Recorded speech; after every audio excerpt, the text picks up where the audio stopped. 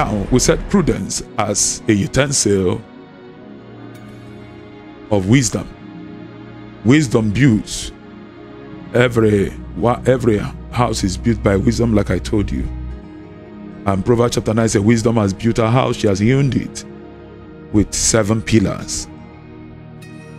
So I told you that these seven pillars are the utensils, the truths, the building material that use wisdom, building materials that wisdom uses to construct. That if you have these in your life, you have capacity to construct any aspect of your life. And these are also systems, meaning that by you creating these systems for your life, you are able to replicate it anywhere. These are systems to manage your life. You can manage your career, your finances, your relationships, your marriage, your businesses, and everything that concerns you these systems of wisdom can help you maximize wisdom effectively. It can help you build at any given time or and help you build in any place you find yourself. And we looked at prudence yesterday, and I told you that prudence is your capacity to see and discern danger and to hide yourself. And we looked at prudence again from the angle of management of talents and resources. And I told you your ability to manage your talent, your resources, all that God has given to you, your ability to manage everything that God has placed in your hands, your ability to also manage your talent, your personal talent, beyond money and beyond material things, your ability to manage your own potentials, is prudence, capacity to manage them, to utilize them, to create solutions is prudence. Many people have resources in them, but they have undermanaged their resources and yet they have something that would have made them very wealthy, but yet they are suffering in penury. Ecclesiastes chapter 9 talks about um, a king or a city that was besieged, and a poor wise man was in that city. Bible says he by his wisdom delivered that city, but yet nobody remembered him. So they were billionaires, they were rich people, there were influential people, there were politicians in that same city. Every one of them ran when war came. None of them had the wisdom to deliver their city. Yet, with their money, with their influence, with their power, this poor but wise man, through his wisdom, delivered that city. But in the end of the day, that was an opportunity to make him a national hero, an opportunity to crown him. That was an opportunity to leave poverty for life. That was an opportunity to walk away from misery for life, an opportunity to terminate lack and want. That man would have been the richest with that one opportunity. But the Bible said that yet nobody remembered him. Everybody forgot him. Nobody remembered that he became the system to save the whole city. People rejoiced that their city was saved and they forgot the person who did it. So the national hero was forgotten. He died in penury. He died in misery. He died not being honored for what he did for the nation. The nation forgot him. So, what was, was the problem? Was it wisdom that was the problem? Or was it his poverty that was the problem? What was really the problem? Or was it the nation that was the problem? Or was it the king that didn't remember that this man saved our nation? So, what was really the problem? That this same man remained poor, yet he had an opportunity to turn his fortunes around. That is a raw application of lack of prudence.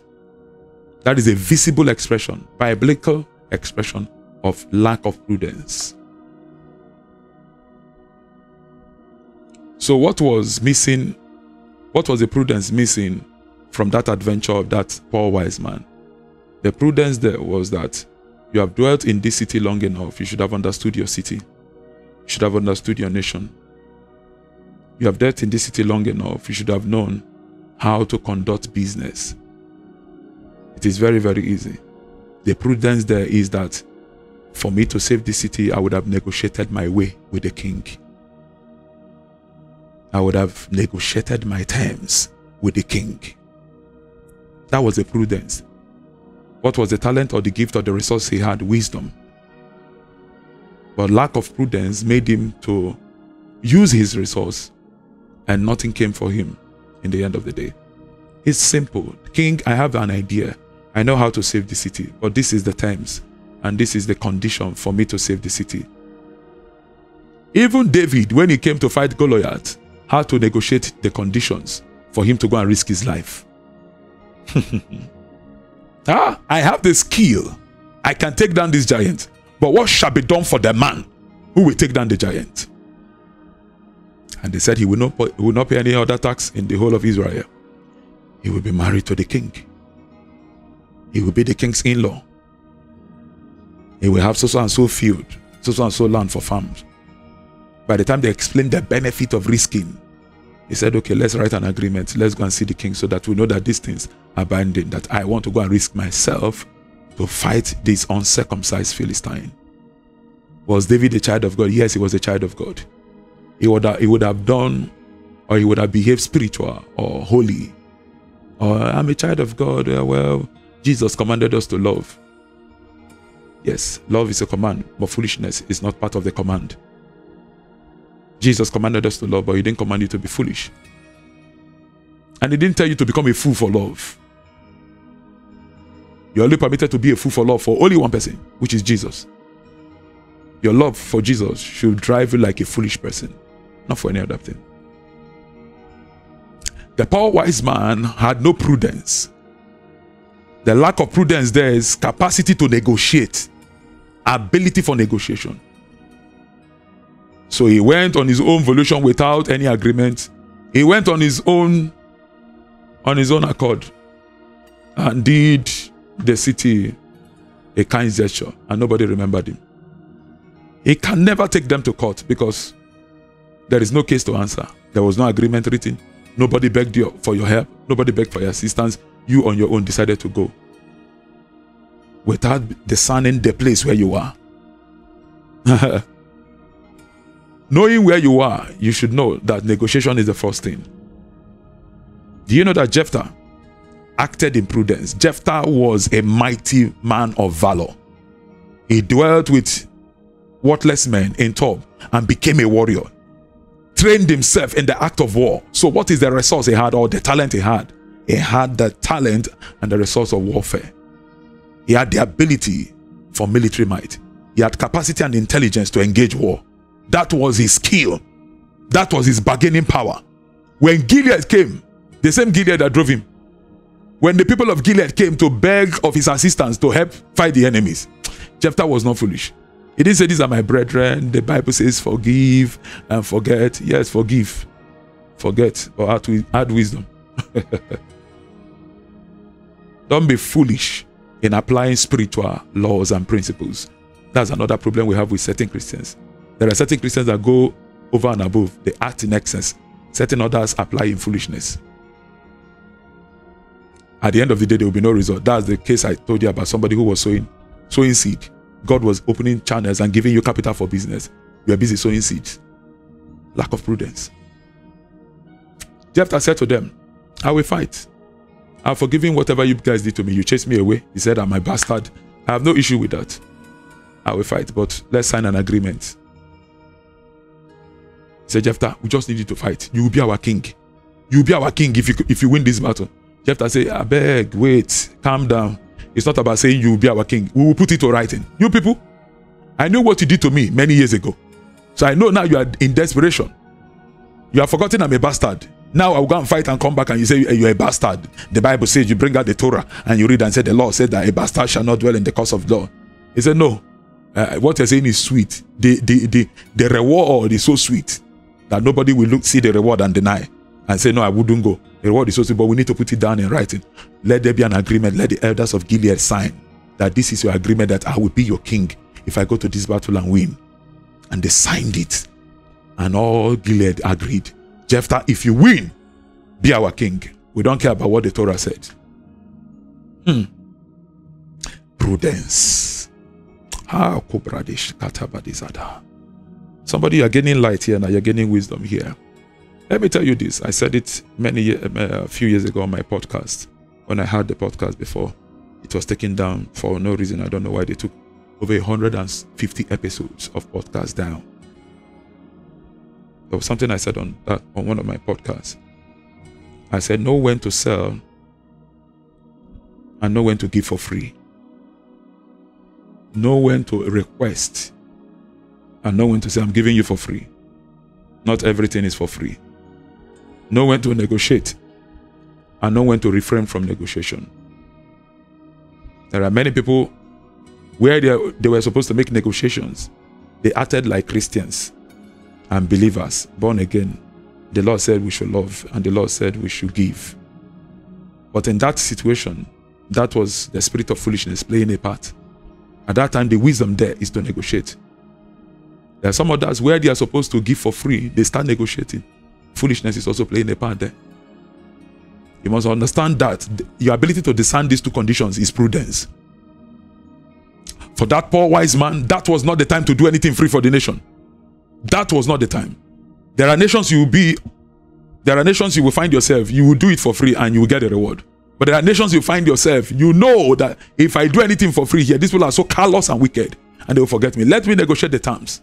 Jephthah knew his people were very bad. David knew that they saw, ah, no, I can't go and risk my life. At the end of the day, they will tell me thank you. No, let's let's negotiate. What shall be done? Yet he's from Israel. He would have said, Well, it's my nation, it's my country. Let me let me fight as a hero and die as a hero. And he said, No. I, I, I won't just go out there ordinarily. What will be done? That is capacity to manage your resource. I'm speaking about this in the angle of your talent, your potentials. I'm not talking about money management now or any other material management. I'm talking about talent management, skill management, value management. That's why I say, Pastor, not everywhere I agree to speak. Not every invitation I honor. Mm-hmm. Mm-hmm. Because there are places you go, you will reduce yourself in honor if you don't hear God. Prudence.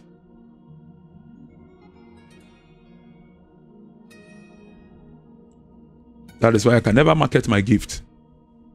Nobody can come to me and say, Well, you want you want to pay me. Pay me for counseling. It doesn't happen. Even there are seeds we reject on this on this mountain. There are seeds we reject. There are people who, who actually say, No, God bless you.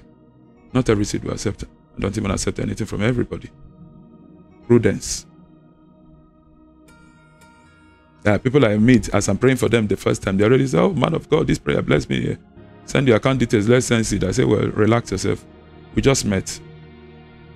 We're just beginning the sections and you're already talking about seed. Relax. Let God begin to work before you talk about seed. Let begin to see improvement. Don't be overly excited. These are emotional giving. I say just relax. There is time. Is it because of the way I prayed? If you meet me, I carry a persona of favor. It's an anointing on me. That one I know. I carry grace for favor. You meet me, you will like me. You have a one-on-one with me, you will fall in love with me. Uh, that I already know. So I'm not bamboozled by that. Mm-hmm. So you, who has a skill, who has a talent, whom God has put potentials in you. Part of the problems why you are having issues with customers, most especially your family members, who are an acclaimed customer, because you have not been able to put prudence. Family members, friends, they patronize you and they don't pay, and you are complaining. No prudence. That's why. They don't discern your value. You have customers who are owing you. They've been owing you for two years. Ah, no prudence. They don't understand value. So they felt like I can hold, tie down her money, tie down her business, do, give at any time. Some of you borrowed money to the wrong people. There are people who are your friends, you are not supposed to give them money. But you gave them your hard earned savings, trusting them to pay back at the, at the appointed time. Now they are disappointing you. Now you are running helter skelter because of lack of prudence. Hmm. Somebody, you're getting light. There are friends I have, I can't borrow them money. Yeah, they are friends because they are beneficial to me in many aspects. When it comes in terms of money, when they say, eh, sir, please, something came up, give me this amount of money, I will give you back in so so so day. I'll say, fa, fa, fa, fa, I'm not giving you, you're not credit worthy. That's prudence. That's me not being harsh because I'm not stingy. They know I'm not stingy. I say for you, nah, you're not credit worthy. You're not credit worthy. If I if I have money to spare, I will give you, but you're not giving me back. You are taking, but for you to pay me back, nah. I know I've been with you for years. You are not credit worthy, so I, I wouldn't guarantee what you're saying. That's prudence. Ah, yada bada yada. Receive grace to manage your resources today. Receive grace in the name of Jesus. Some of you, the, the wisdom of God will come upon you. You will know how to begin to negotiate. There are places you will be, you will know how to negotiate. There are things you don't need to do for free anymore. There are things you need to actually negotiate. Some of you, you have landed into problems because you started, you started doing things for free, and people have not taken it for granted. Now you are trying to place a price on it, place a, a, a price tag. They don't want to do that anymore. You are now disadvantaged because you started with, uh, with, without prudence. You will say, okay, let's do things for free, and now it has gone, it has gone south. The poor wise man was just lack of prudence. Jephthah was in his position, but Jephthah applied prudence. David was in his position, David applied prudence. He went out of his benevolence. Let's just do a good service for our nation, and the nation forgot about them. It takes discernment. What am I saying? There are times you will negotiate, and there are times you need not negotiate. There are times you say, What shall be done for me? What is in it for me? There are times you say, you, you don't even think about what is in it for me. You just give your service. But you must be able to understand those contrasts. That's prudence, the ability to discern those moments. It was an opportunity for lifting. Jephthah maximized it. David maximized it. The poor wise man failed in that test.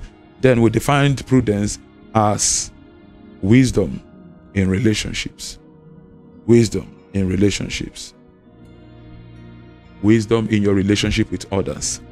Now, in relating with others, there are four groups of people that you must surround yourself with. So I've, I've started for today. I, I need to expand on relationship. Talking about prudence. Prudence is your ability to manage relationships very well. And um, I trust God for those of you in the study group, when we came to the relationship container, there are many things. I, I also mentioned these things. I mentioned there and deeper, deeper things I'm going to mention about relationships because these are very, very powerful for your existence in life. And you need prudence to manage all your relationships. Like I told you, if you quarrel, every time you're quarreling, you're quarreling, you're having issues with people. Everywhere you go, you have issues with people. There's something wrong with you. We need to begin to check you. Begin, we need to watch you. We need to move our eyes away from the people that are offending you to you now. We need to now study you. What is your problem? What energies are you emitting? How are you carrying yourself? What personas do people have about you? What perception do people have about you? Why will you always have problems with everybody anywhere you go? Everybody must not like you, but you must not have problems with everybody. Somebody must like you. And if you have bad people around you, everybody that is around you is either a gossip, either a cheat, either a rebellious person, either somebody who knows how to break rank, sow the seed of the people. People who are hanging around are people who have capacity to to scatter. People who lack integrity, and you are the only good person around them. Something is also wrong, meaning that you are you are emitting negative charges, negative energies that are attracting these negative people around you. There's something that is coming from you that is calling for all these kind of people. A drunkard can, can, can be hanging around me. No. A womanizer can't be hanging around me. A smoker can't be hanging around me. A defrauder, a fraudster, a yahoo yahoo like we call them here. What, what will he be doing? My environment, my atmosphere insists that such kind of energies can be around me. There are four kinds of people that should surround you. If you are a prudent person, there are four persons that must be in your life. If you don't have them, just know that you need to work on your prudent level to begin to attract such people into your life. Number one, the people who knows all your weaknesses, but they will not judge you. Mm. If you're working in prudence, the first set of people who must surround you, who must be in your circle, are people who know your weaknesses, but yet they don't judge you by your weaknesses. Yeah, we're in a dispensation where people are quick to judge, people are quick to label people, and people are quick to demonize people, and people are quick to cancel people. And it's prevalent in the body of Christ. Prevalent in the body of Christ. The body of Christ is a place where people like to isolate themselves. Everybody, isolate yourself. Isolate yourself. Go and do your own thing. Isolate yourself. Nobody loves to collaborate. Collaboration is a game here. Collaboration is a game. Whatever made me strong on Clubhouse was collaboration, and, and it's still collaboration.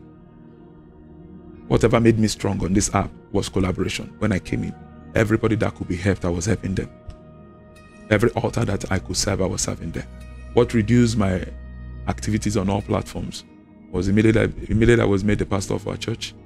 The, their job became more tedious, and I had to shift all our programs to early in the morning, which is why we're having all this now. So in the day I'm busy, I can no longer talk again. But those who were with me from 2021 on Clubhouse, they know that I was functioning 247. There were some platforms that people thought I owned those platforms. Many people who knew me from 20, there were platforms we were praying. They thought I was the one controlling the platform, about four or five platforms. I was functioning back to back. Different people's platform, not my own. The Spirit and the Bride was silent. We were having just Bible studies once in a while. All other platforms where I was functioning, leading them like it was my own platform, selflessly. Not minding that I have my own club and I have things to, I should be doing on my own club. It was not my business. The business was the business of God, the business of the kingdom, the business of our Father. That was what, what that was what was eating me up. People who know your weaknesses, your faults. Your weakness might not be about it, might be deficiency. It might be an area of your life that you need wisdom, an area of your life you're still ignorant. Maybe you don't know how to manage very well. Maybe you don't know this, you don't know that. There, there are things that you are unaware of at the moment. In that area, that's a weakness. It might be outright weakness when I mean real weakness, weakness of maybe one or two addictions. But most especially, the weaknesses that are pronounced to people who are close to you are certain weaknesses in capacity. Those are the most pronounced weaknesses. For some others, they might know about your addictions or weaknesses in capacity. They know this, but they don't judge you by those weaknesses. Ah, they know where Pastor Ike can be. They know the limitations of Pastor Ike, but they don't judge him by it, by that. The next set of people that should be around you are the ones who knows your strength and they want to build you in your strength. They know your strength and they want to build you in your strength. Hmm. That's why when my mama speaks, he said, I, I know how, how you were in 2021, and I know how you have grown. How you have grown over the years. They know your strength. They want you to keep improving on your strength. They are happy for every improvement. Every improvement. Every improvement. If all my members, if you see the messages they send me at the back end, you will wonder why I come here guns blazing, sometimes even when I'm tired. That's why when I come here, I come guns blazing. Like I am standing like, you know, the way, who are you? Who, who you be? Who you? I will deal with you now. That's how I come. You're coming like a lion because you have the backup of many. The encouragement there was.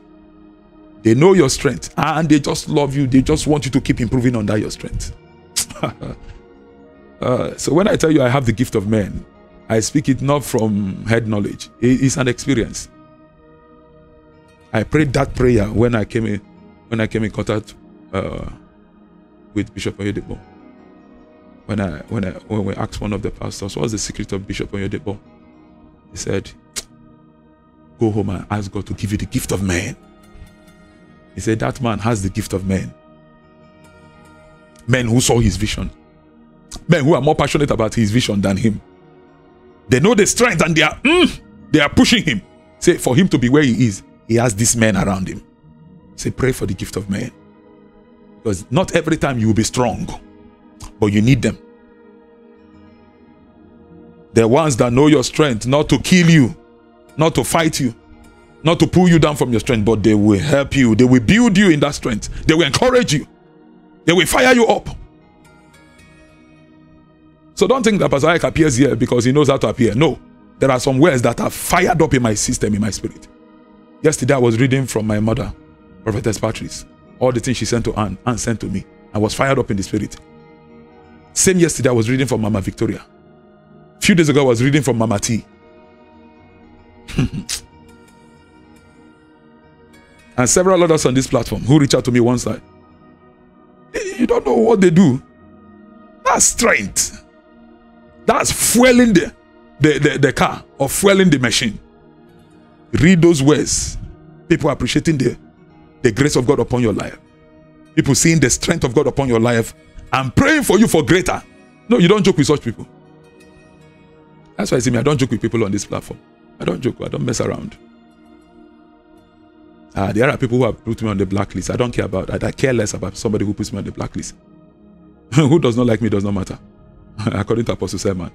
It's I got that wisdom. I focus on who like me. It is who love me and who like me I focus on. Who does not like me? Mm. It, it makes no sense you're here, you have strength, and people are looking how to pull you down on that strength. You're, you're with the wrong people. you need the prud- you need the spirit of prudence to be activated. Let the right people come around you. How can you know how to do things and the people around you want to want to pull you down? They are jealous about the strength that God has given you instead of celebrating it. They begin to look for ways to pull you down. Are before witchcraft. Anyone here surrounded by dogs. May the Lord transition you out of that environment. Be with people that knows how to improve you on your strength, to build you up. That shows that you are working in prudence in your relationships. Number three, you need people who are where you want to be and they will help you grow. People who are where you want to be and those people have the capacity to help you to grow into it.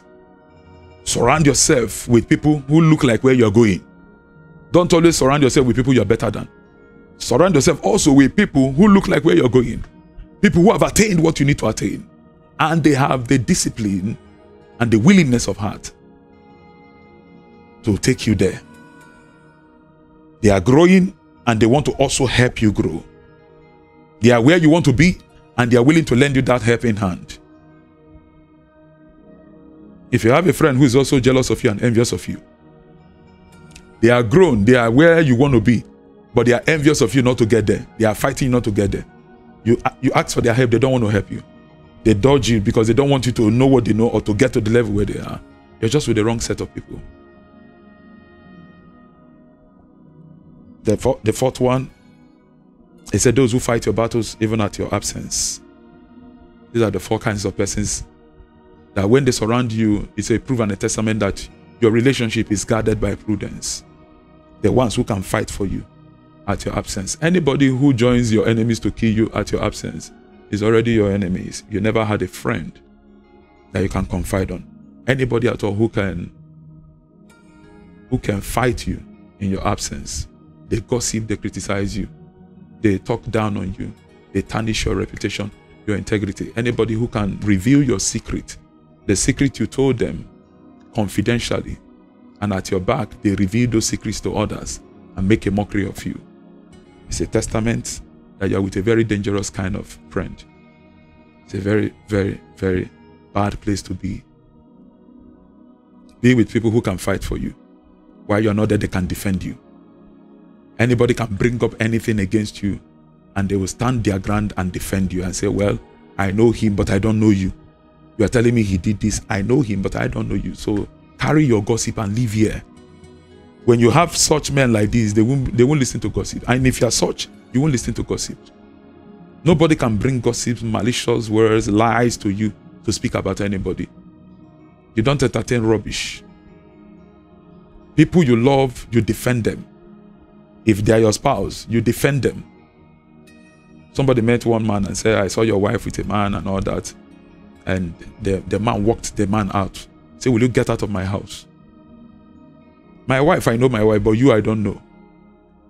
Came to tell me that my wife is, is having relationships with another man. I know my wife. I've married her for over 20 something years. But you, the stranger, I don't know you. Get out of my house. That is prudence. But there are some people that will hear that. Hmm. And their mood will change. The woman will be in trouble and she's coming back. They will believe everything. Those who fight for you, you need them in your life. Then there are also four dangerous people you need to move away from. Prudence must make you discern them if they are around you. Four very dangerous people you don't need around you. I mentioned four people that must be around you. Four dangerous people that you don't need them to be around you. You need to employ the wisdom of prudence to fish them out around your circle if they are there. Number one is the critics, those who criticize.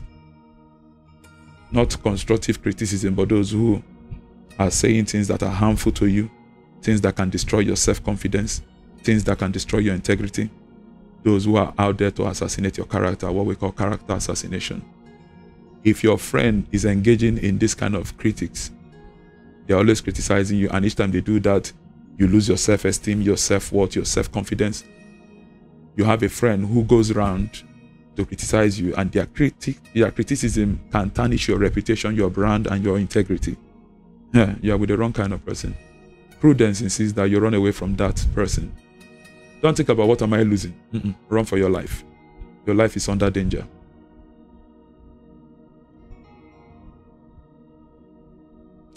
Number two are envious people. Envious people.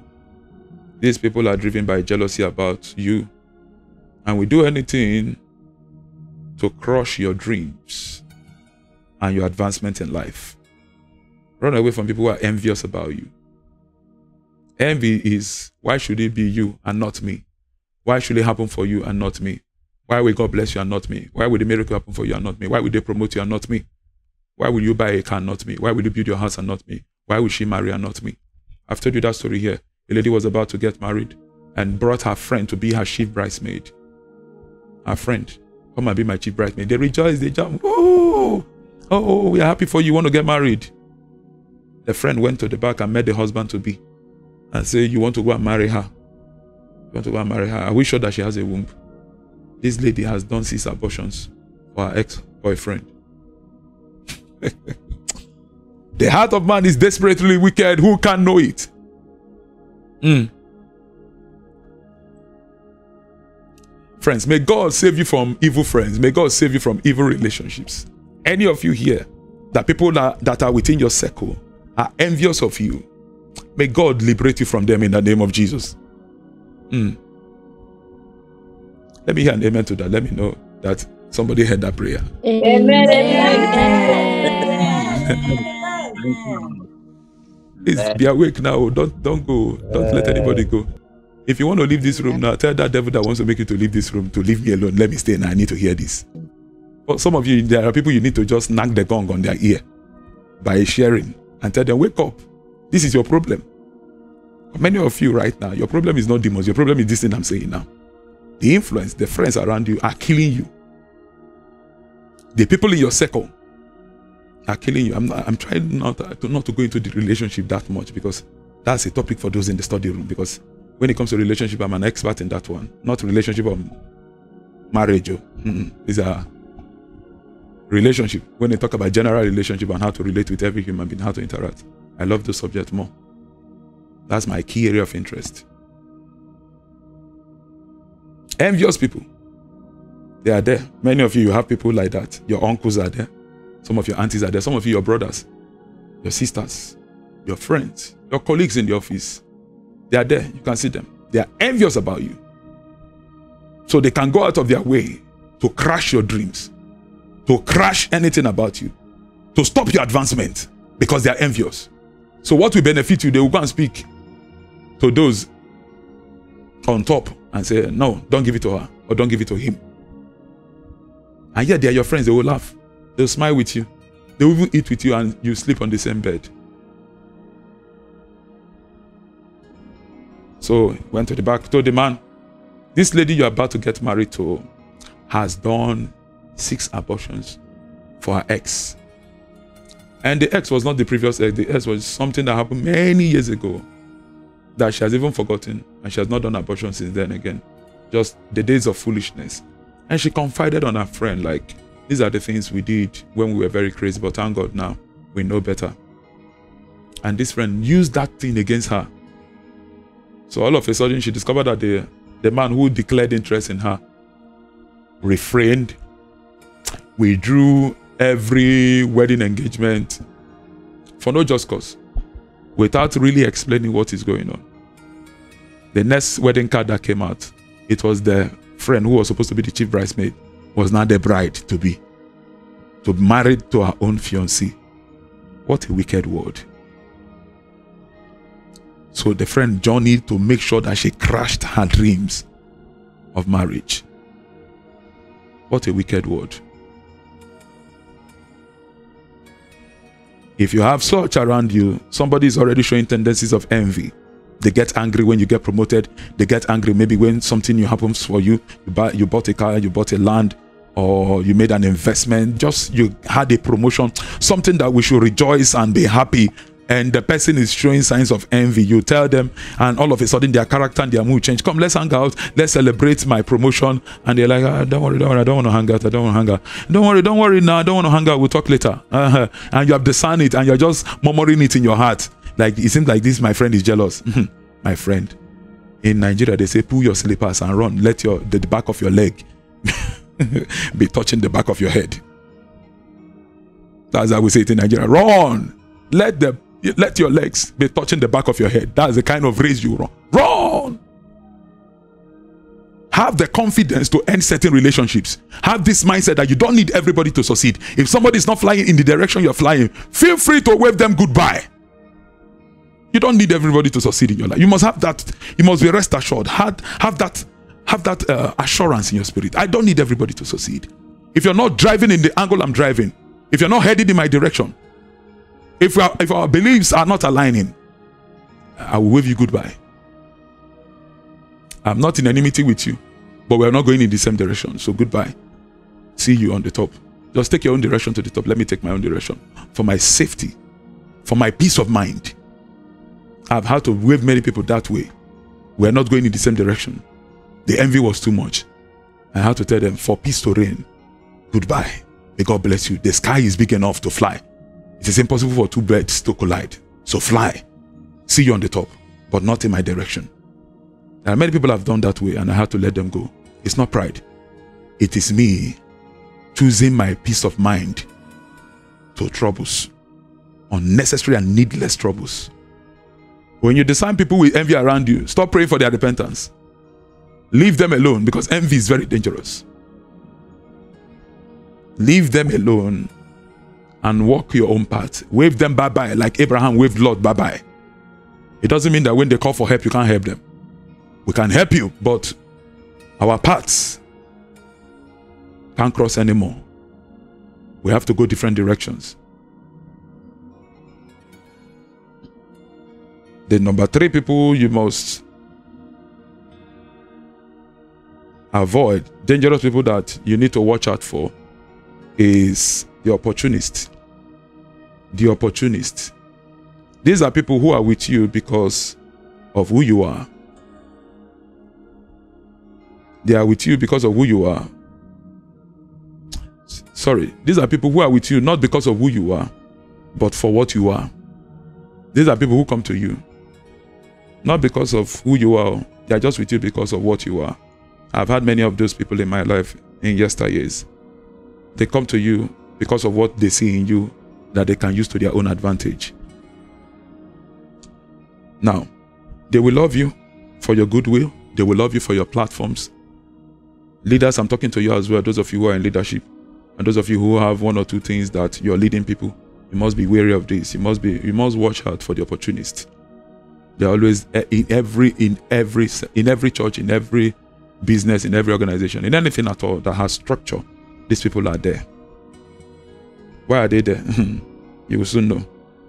They will love you for your goodwill and your platform. Once they get access to your goodwill and your platform, they will use it to advance their own personal interest. Once they have access to you, have access to your platform, have access to your endorsements, they will use that access for their own personal interest. They are not interested in you, but they are interested in the influence you have. Yes, you have. So they will use the influence you have to build their own influence and they will rival you in the end. Be very careful about such people. We've had situations where we have sent pastors in some of our local churches to go and uh, hold the branches there, only for them to build their influence using those branches, using those churches Immediately they built an influence, they divided the church and left with the members, abandoning the church. I've shared the stories here. Many of our churches in my local assembly suffered that fate. Many of the pastors took the members and opened their own, opened their own churches, became their own general overseers. At first, they were humble, loyal. They will talk about the vision of the church. They will celebrate the sent man uh, or the set man over the commission. They will celebrate everybody celebratable. They will act as if they're genuinely interested in the vision of the church, genuinely interested in you, but they have an ulterior motive. Once they have gained strength, they will now rival you. They will now fight you. The opportunities, be careful of people That's why uh, anywhere I go, I try to respect the system and I try not to break ranks. I try to respect the ordinances around that system.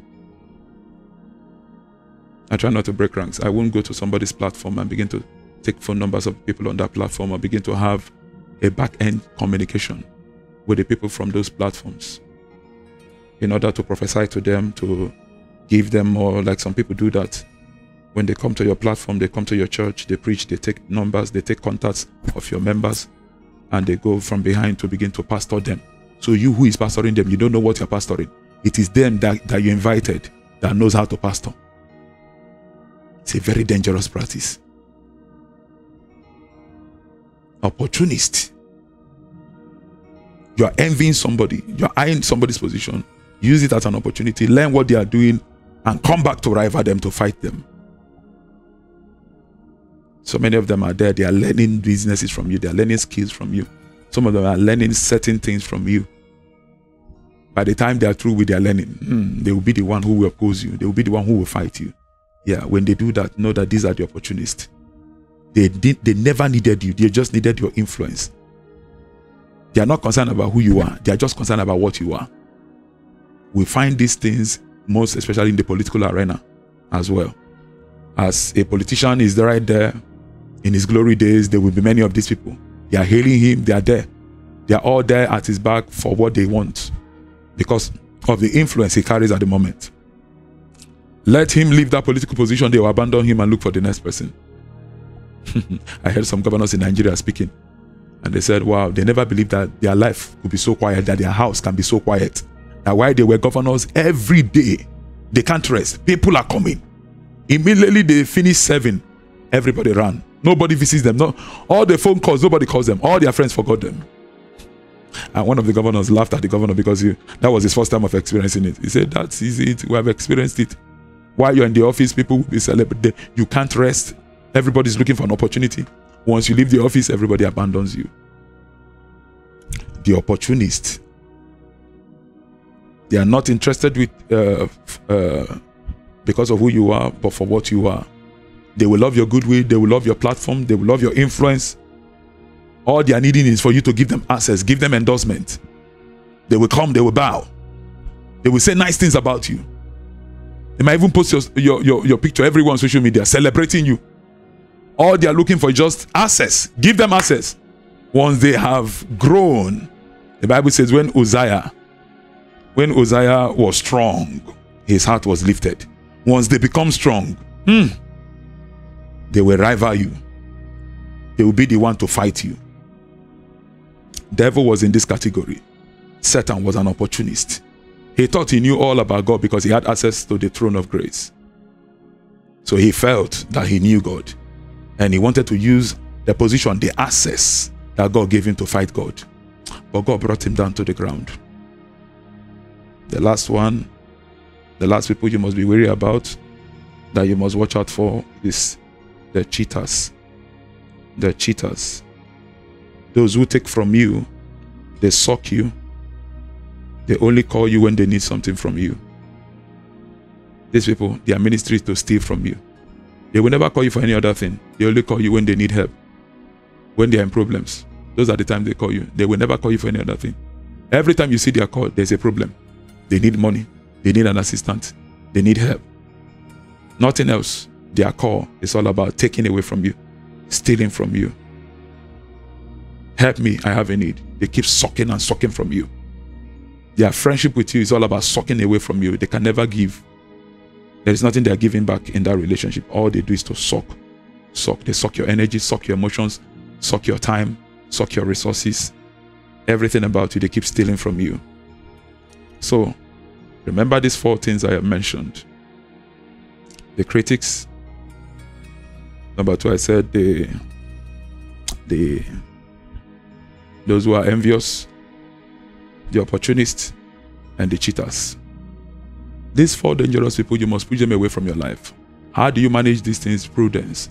The ones I say you should attract, prudence will attract them. These ones I say you should be wary and push them far away from you. Prudence is what manages this. So I've looked at prudence from the angle of managing your relationships because we're talking about wisdom. Wisdom is not only receive it, receive it. Wisdom is also embedded in your thinking, your reasoning. Now go back and manage and look into your circle. Many of you need to audit your circle. Many of you need to kiss some of your friends goodbye. Just like Laban kicked, kissed Jacob goodbye. So many of you, you need to kiss some of your friends goodbye, some of your allies goodbye, because they fall into this category. They fall into one or two of these categories of people that you must be wary about. I can tell you, Jonadab, Ammon, that relationship ended the life of Ammon untimely. Amaziah and um, um, trying to remember that person. I, am trying to remember who he went to see, and Jehu met him there and killed him. He was not supposed to die, but friendship ended his life untimely. There are people that are not supposed to be in your circle because they will end your life untimely. They will stop what God wants to do in your life. They will end your seasons untimely. Prudence says when you see these dangers, these four dangers I've mentioned, hide yourself. End the relationship. If it's coming from your spouse, uh, use wisdom and know how to stop it and know how you're going to end it. If it's coming from somebody you're planning to marry, then end the relationship. End it. There's no point of even going further if they have these tendencies. If it's coming from your friends, whether they are childhood friends, end it. If it's coming from your colleagues, ask God for wisdom on how to manage them because you're still in the same office with them. If it's coming from your boss, ask God how to manage it. Or ask God for a, for a change of job and move away. Harboring these people within your circle can be very dangerous. If you want to surrender your life to Jesus, say this prayers after me. Lord Jesus, I recognize I'm a sinner and I can't help myself. Cleanse me from all my sins and impurities. I believe with my heart and confess with my mouth that you came and died and resurrected on the third day for my justification. I receive you into my heart. Be my Lord and Savior. Give me the grace to live for you and empower me to live holy and blameless until your appearing. Thank you, Jesus, for saving me. I am born again. Amen.